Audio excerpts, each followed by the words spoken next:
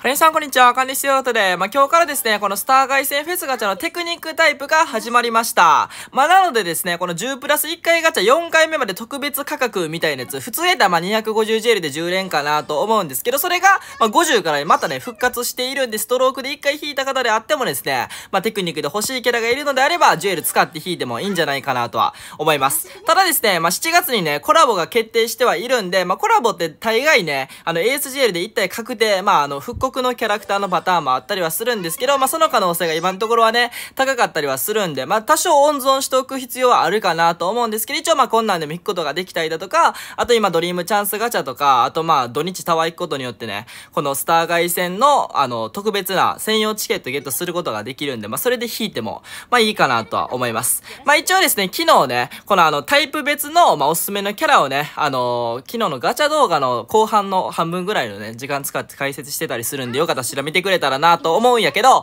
まあ、テクニックの、まあ、あの、おすすめというか、当たりキャラはですね、まあ、一番上にある、まあ、MVP シロ続いてアイリス、あとまあ、キズダミアも割と強くて、その他で言うと、まあ、反転させてくるあのルチア、まあ、あの子はまあ、ちょっとね、取っておきたい感はありますよね。あと、クラウディアもね、SS 打ったら、あの、全体に空中地面無効っていうのをね、打ち上げるまで永遠と付与することができるっていうものもあったりするんで、まあ、その子も、あの、割と強いかなと思うんで、その辺を、まあ、狙っていく形になるんじゃないかなとは思います。ただ、まあ、ここにも書いてる通り、まあ、2週間後にはサーブタイプが始まって、追憶ティナが入っていたり、あと、まあ、スタミナやったらね、この幻想ルチアとかスピードと MVP クロみたいな感じでね、当たりキャラとかもおったりはするんで、まあ、どうするかどうか皆さん次第ではあるんですけど、僕は今回ですね、その反転するルチアとか MVP シロとかキズナミヤ、この辺を持っていないので、まあ、このね、ASGL50 個使って引いていきたいなと思います。あ、その前にこの毎日無料引いていきますか？一応これ毎日あるんでね。あの、ASGL とかチケットを温存したいのであれば、俺のおすすめはとりあえず2週間これ毎日無料引きまくって、当たらんかったら 50GL とかチケット使うとかの方がいいかなと思うんですよ。僕昨日ね、あの、いよりのガチャをそれで引いたんやけど、結局俺は当たらへんかったんやけど、まあ当たる可能性はあるとは思うんでね。まあそれがおすすめかなと思います。まあ一応10連するとね、このギアスタールの10個、まあそんなにね、あの、嬉しくはないんですけど、これがもらえて5個目やったら、この専用チケット10枚。これ専用チケット使ったらね、星5の確率が1.5倍になるんで、ちょっとだけジュエルよりかは当たりやすい。で、10個目まで行くと未所持キャラがね、絶対ゲットできるみたいな感じになっているんで、まあどうしても欲しいキャラがいるのであれば、ここまで引くのもありなんじゃないかなと思います。ということで、ドン。いや、マジ、お願いしますよ。俺、復刻運ガチでないから、マジで当たれへん。だから、マジで持ってないキャラ、MVP シロとかね、空中地面向こうあったとしても流すことができるんで、結構ロマンキャラなんで欲しいですよね。いいね。あ、持って？あ、ちゃうわちゃうわ。あの、専用チケットやったら銀出たら確定やねんけど、違いますね。これは、ジュエルやから関係ないと。っていうかでも、星5の確率も、めっちゃ高かったですね。僕、普通の人の3倍ぐらい出てきてますやん。はい、愛だね。一つ目はかぶりですと。いや、マジで1個ぐらい上から降ってきてくれてもいいと思うで。お願いあー、この子もまあ悪くはないけど、まあ、色メルのせいでね、まああの、灼熱コートで雪ストーム打つことがあんま難しくなったんでね、ちょっと微妙ですね。あ、かぶったーサイリンアナーゼイ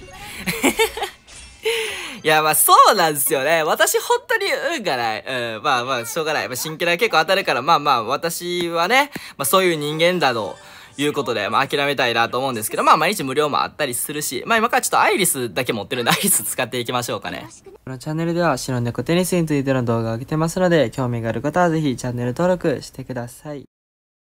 はい。というわけで、1戦目やっていきたいなと思います。サイトネット2678で、ラインズマンガルが降臨やみ、あとパルメがいるっていう感じになっているんやけど、このラインズマンガルがリーダーのね、氷闇マジでやばくて、あの子ってあんま走り速くないやん、氷闇って。ただ、まあ、その分球もめっちゃ速くて、アウトもせえへんっていう性能持っているから、まあ、結構その点でどうにか、まあ、あの、強いっていうキャラじゃないですか。ただ、ラインズマンガルガルリーダーにしとったら、灼熱属性のキャラのね、あの、硬直が少なくなるんですよ。それによって実質走りが速くなるんですよ。そしたらデメリットがめっちゃ少なくなるんですよね。え、ガチでやめてほしい。アイリス一応地面無効があるんでね、弾遅くなる効果、あの、大丈夫なんですよ。降臨闇の。ただ、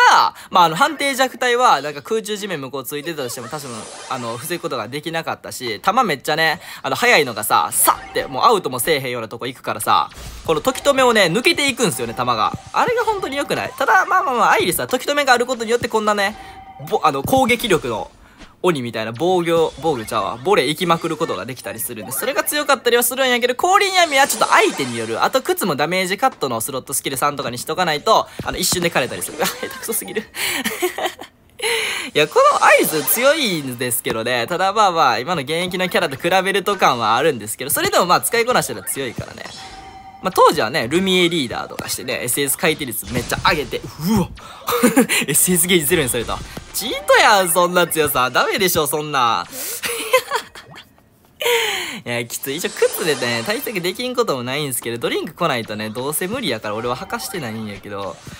ラインザンガルガってバケモンやんな。リーダースキル強いし、そのなんか3万溜まった時に SS ゲージゼロにするとかあかんやん。ただまあアイリス打球効果無効があるからで、それも結構いいところではありますよね。相手のまあフラットサーブとかさ、状態以上書かれへんしさ、これ SS くる。オッケー。で、まあ10秒で1回のね、この、鉄壁の防御さ。これ素晴らしい、マジで。あ、やっと SS 溜まってきた。あぶね、スマッシュできるんかーい。で、これで前で時飛べして、こっからで SS かドロップどっちでしょうで SS でしたってできるけど、今のは相手警戒しまくってたから全然決まらんかったね。まあ、しょうがない。いや、やばい。あ、オッケーオッケー。で、ここはまっすぐスマッシュ。はい、いいですね。これジャスト確定になるんで結構スマッシュの速度も上がるんですよ。で、運良かったらネット前で相手が高い球打ってきとったら、あの、あれなんですよね。ネット前からスマッシュできるっていう。えー、届かへんのか。あの、めちゃめちゃえげつないことすることができるんで、それも結構好きですね。あの、ほら、ハードのさ、あの、エンマが新規海洋化転生、ちょっと前に来たやん。1、2ヶ月前ぐらいに。あの子のスペシャルって SSD にかけてくるかなと思うんですけど、すぐラケット振ってあげればね、高いところ、うわ、アウトした。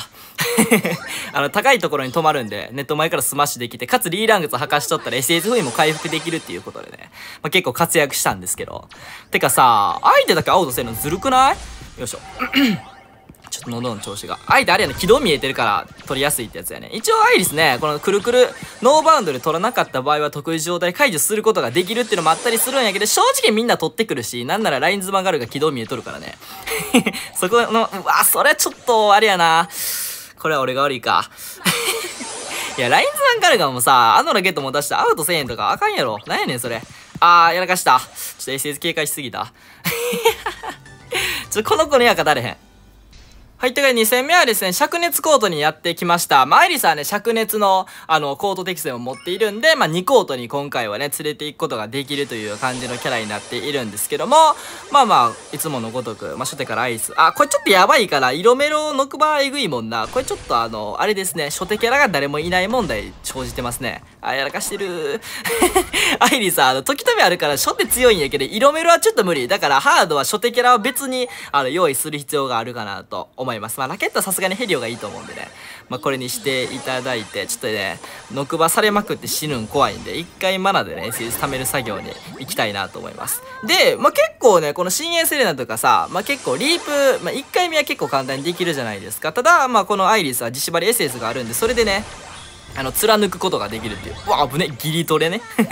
入れ番してからもどうにかなると。ただ、セレナ入れ番ギミック向こうがあるんで、あのギミックあんまり効かないっていうのはちょっとね、だるかったりはするんやけど、あ、てか、バイスも結構相性いいぞ。この子瞬間移動や。に対して、まあ、あの、あれがあるじゃないですか。さっきからずっと言ってる自縛りが SS があるんで、まあ、それで決めていくっちゅう感じになるんやけど、まあ、極限を取れるからと言われたら微妙。ただ、時止めあるじゃないですか。まあ、シャルの時にも同じ戦い方していたんですけど、あの、相手が右側にいます。で、まっすぐに関しては体で受け止めて反対側に関しては時止めで止めてあげれば極限実質絶対取れる間になるんちゃうかな。時止め10秒に1回復活するでしょわこれめっちゃ頑張ったらいけるかもやけど極限やと思いきや結構早めの球がシャキンって反対側に打たれてしまうと結構きつい面みたいなのがあったりはするんでまあそこは慣れたらいけるかもしれへんねだからまあほんまにアイリスはちょっと結構いいかもしれない。灼熱とかハードね主軸キャラがいないのであればちょっとハードはもうちょい他のキャラもおった方がいいかなと思うけど初手も優秀やしね幻想ルチア対策としても使うことができるんで、ある程度ね、需要はあるかなと思います。いいですね。